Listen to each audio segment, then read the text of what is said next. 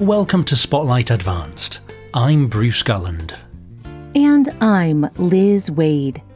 Spotlight uses a special English method of broadcasting. It is easier for people to understand no matter where in the world they live.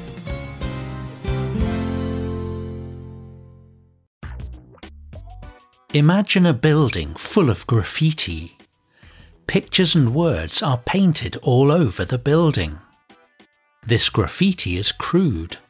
It says hateful things about black and brown people. Next to this are symbols from Nazi Germany, swastikas. Above this, someone has written My Hitler. This graffiti is meant to be offensive.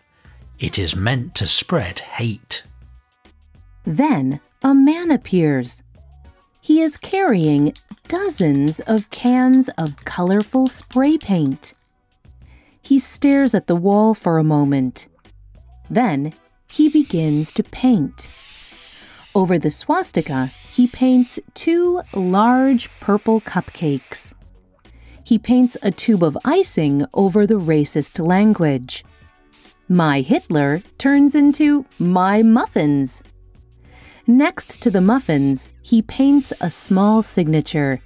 It says Cibo. Cibo is an artist from Italy. His name means food in Italian. Cibo paints murals of food over fascist graffiti.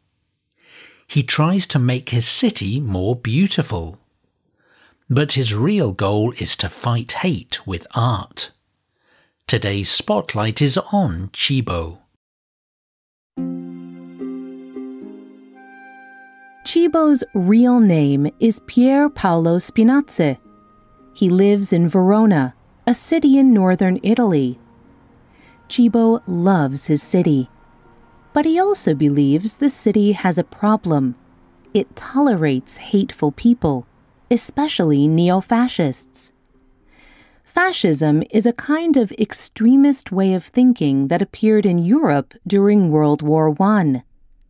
It celebrates authoritarians and nationalists.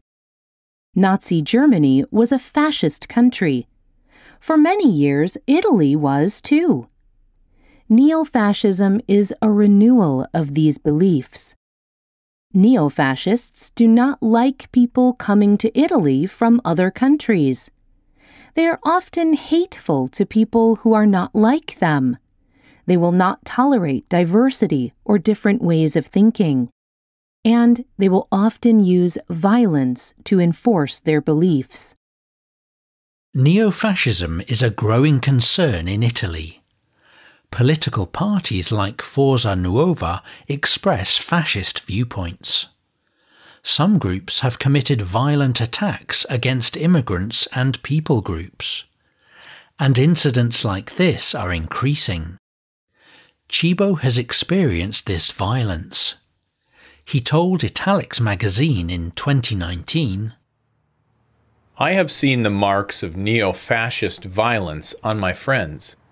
Eleven years ago, a group of neo fascists killed a fellow university student. After that day, I decided that that was enough. Although it was not much, I would have, should have, done something about it. Soon after his friend's death in 2008, Cibo saw a wall full of neo fascist graffiti. It made him angry. His friend had just died, and here were signs from the people who killed him. So Cibo did what he knew how to do.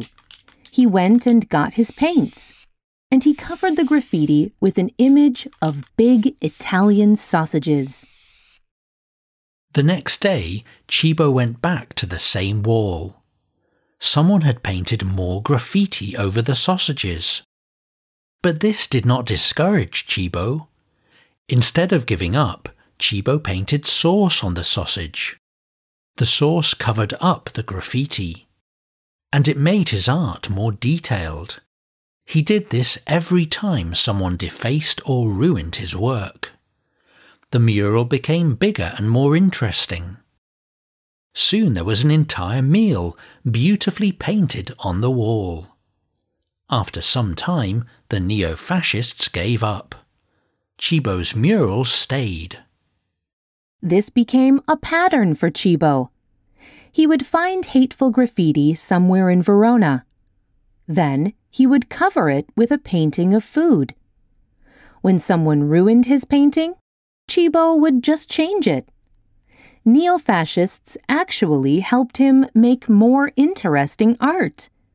He told Italics These fascies are dangerous as a group, but on their own, they are a bunch of cowards.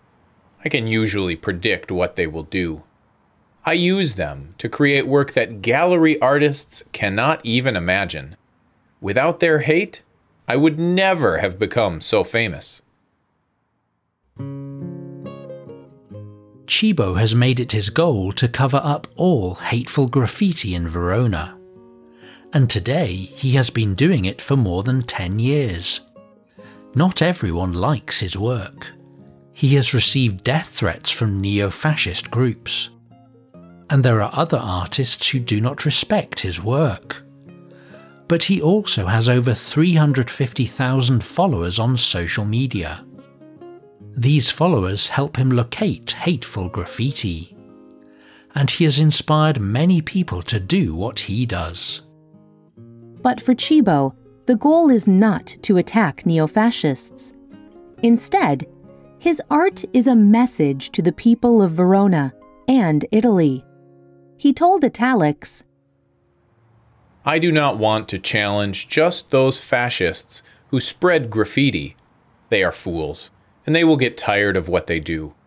Instead, I want to overthrow the growing acceptance of hate people in Verona dismiss teenagers setting a homeless person on fire as a prank. They try to forget about hanging statues of people of color at the stadium. Here, hate has become normal. Cibo paints food because it helps send a message of unity. Almost everywhere in the world, food is something that brings people together. When people get together to eat, they get to know each other more. It is easy to dislike someone who you do not know. But when you actually meet them, it is harder to hate. Food is also international.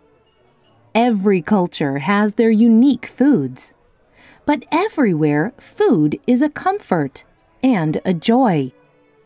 Instead of hate, Cibo tries to spread this comfort. He also points out that even unique national foods are made of ingredients. Each of these ingredients come from somewhere different. For example, the caprese salad is a very Italian dish. It is made from mozzarella, basil, and tomatoes. Cibo often paints this salad he talked to Quartz magazine about one mural. He said that the caprese is a message. Caprese is a message that food is open to the world. The basil comes from India. The oil is from Syria. The mozzarella is Italian. And the tomatoes come from Colombia. Cibo believes that his country is like a caprese. Its people come from many different places. But this does not make them less Italian. Instead, what makes Italy Italy is all of its people, no matter where they are from. The neo fascists believe that Italy should only behave like one dish. But Cibo presents a varied cuisine. It is full of spice and flavour. And it is made of ingredients that come from all over the world. Do you ever see hateful graffiti? How do you deal with it? What would you do if you could?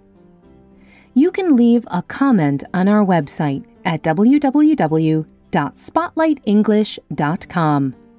You can also find us on YouTube, Facebook, Instagram, and Twitter. The writer of this program was Dan Christman. The producer was Michio Ozaki. The voices you heard were from the United Kingdom and the United States. All quotes were adapted for this program and voiced by Spotlight. This program is called Cibo Fighting Hate with Art. Visit our website to download our free official app for Android and Apple devices. We hope you can join us again for the next Spotlight program. Goodbye.